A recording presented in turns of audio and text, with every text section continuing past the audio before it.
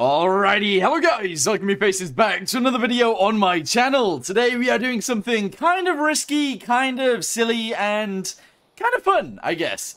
We're going to try and build a nuclear-powered steam train. I, I know, uh, well, I guess it is a steam train. Yeah, that does make sense. Anyway, we're not going to do anything too crazy. We're going to take the preset build of the nuclear uh, plant thingamabobby, and then we're going to put it on a train and see if we can uh, make it work. So, let's just go ahead and get straight into it and see if it works.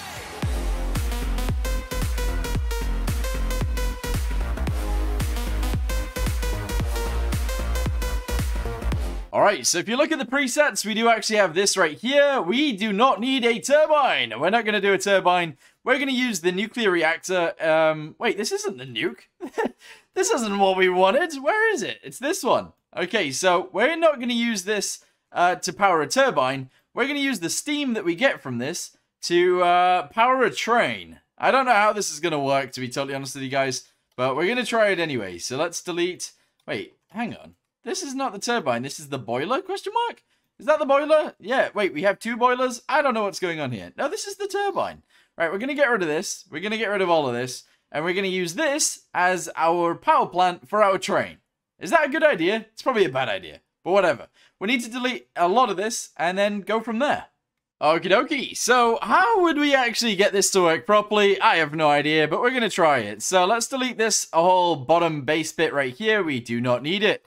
Uh, we have this right here as well. I'm not entirely sure what this is showing, so we're going to delete that. We're also going to delete this, and we're going to delete all of that as well. We probably need this thing, so let's go ahead and bring this backwards and put it somewhere along the lines of here, I guess. There you go, paste that in. Merge it all together. Excellent. And then that's all good. Yes, excellent. Where do we power this thing from? Where are the buttons? Where is everything that actually allows this thing to work? I have no idea. Does it automatically work? Who knows? Spawn it in, let's see what it does. Oh, alright, that's not amazing. That is not amazing. But I think it generally, genuinely, uh, automatically works itself. So we're going to delete these things, because they don't need to be there. Uh, all of that should be fine. We're going to slap this onto a train. We're going to have the steam come in, and then it all goes through there to get cooled down. And then we're going to have the steam go through the pistons that push us along. Is this going to work? Who knows? Alright, so we need wheels. Here we go. Wheels, yes. We're going to go with the steam ones. Uh, we're obviously going to go with the uh, one, uh, the, the medium ones, because they're the better ones. And we're going to go ahead and put them actually all the way down. I think a nuclear, nuclear power plant should be able to power these as we go. So we're going to do like loads of them. There we go. That seems fine. I know that's quite a lot, but it seems fine. We then need the actual piston itself. So let's go ahead and grab a medium piston, whack it straight onto there, just like so. And now we need the steam and stuff to get into here. And that's all we need to do to allow this to work. Maybe. Alright, so on this side it does say steam out. So we're going to use this steam out to go forwards. We're going to take it down the side of the train in order to make it go into the actual pistons, and then we'll go from there. So this is steam out. We actually want the steam in to go into this, and that should be fine. So pipes, let's do this. We'll actually have it go out sideways uh, to begin with, then upwards, and then straight into this, and that should be fine. So up to there, delete that one, grab this one, make it go sideways, do this one, sideways into there, and attach those together. Excellent. We then need to delete this because we need it to go to this side too, which is uh, somewhat ridiculous, but at the same time, should be fine. So there you go, whack that on there, bring this up to the same height as that one, delete these guys, send it across, delete that one, delete this one, get the right pipes to allow this to work, bam, there we go, angle that bit straight into there, excellent. So the steam will come from the boiler into here, and that'll be fine, I guess. And then to go back, we actually need the water to go into here. So steam in. We're going to send it the same way down the sides and do the exact same thing in order to attach this on. And then it should work, I think. So go ahead and bring this down to here. Uh, we'll allow it to go one out on the front, hopefully. So do this out the front, do this out the front, attach these guys together using something like this. There we go. Uh, attach that directly onto there like so have this piece come downwards, as long as it's in the right area, which I believe it is, and then send it. Yeah, down into there. Excellent. Is that right? I think that's right. So that'll go into there. That's obviously completely fine. We're then going to grab this guy and attach it onto there also. And that should be fine too. And now we have a nuclear-powered train. How weird is that? Spawn it in, let's see if it works. I mean, it's it's somewhat on the tracks. it's so weird. That is so weird. Alright, how do I know what kind of pressures we're getting out of this? So the temperature of that is going up, obviously. Our pumps are actually already on. Okay, and the temperature of this isn't actually going up. Oh, it is. It's going up very slowly. Okay, that's fine. Uh, is this gonna work? Oh, that sounds awful. What's going on now? okay, can I push this out? I don't think it's fully on the tracks. Let's spawn this in outside and see if we can get this working properly. There we go. So it's definitely on the tracks. Uh, I've got no brakes. I've got no controls over this at all. But it is a nuclear reactor on a train bed. Uh, and we're going to see if it moves.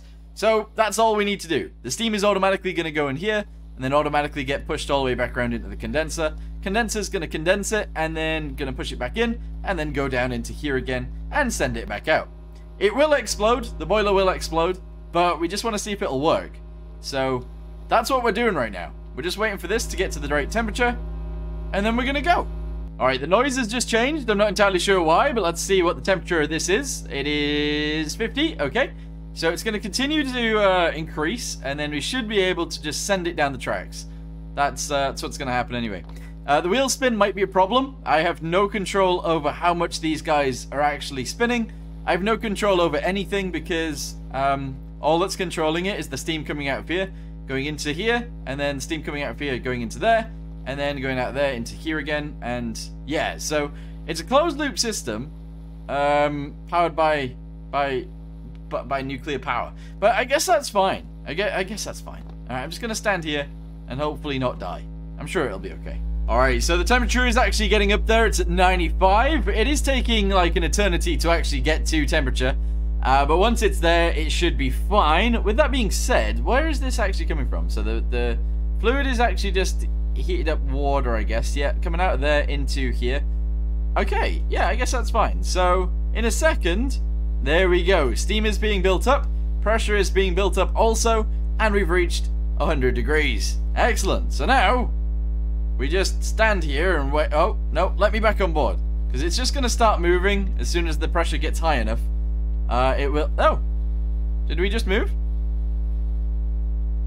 Oh, it's wobbling. It's wobbling as if it wants to go, but it isn't quite going yet. Okay, what kind of pressure have we got now? 0.4. As soon as it hits like 0.8, I think it'll be good to go. Yeah. As soon as it hits like 0.8, we're gonna go. Alright, let's see, let's see, let's see! Come on, reach 0.8. I'm looking at the pressure. Looking at the pressure. So we're at 0.6 right now. It's still taking ages. This is taking like 10 years to actually to actually work, but let's see what happens. Come on. Come on, 0.7. Alright. We're getting there very slowly, but we are getting there.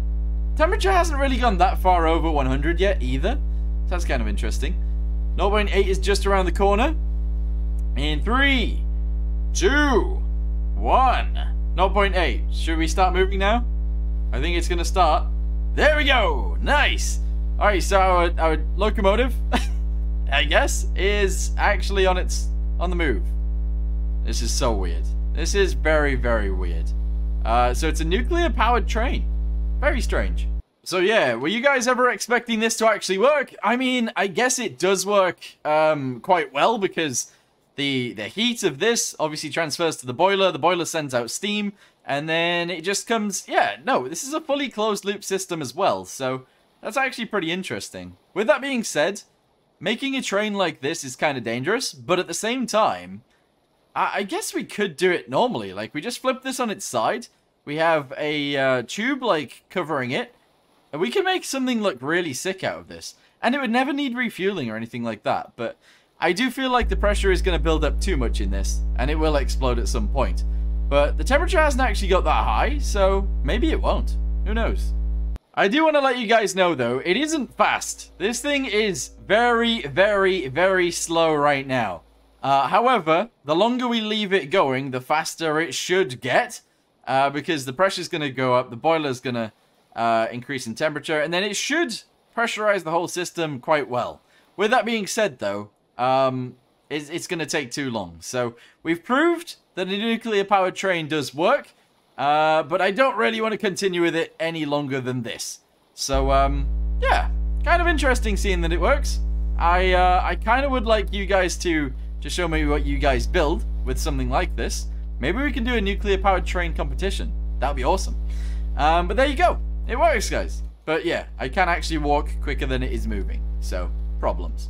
But anyway, uh, I'm going to end this video here for now. Thank you guys very much for watching whatever the heck this was. And I'll see you guys in the next one. Goodbye.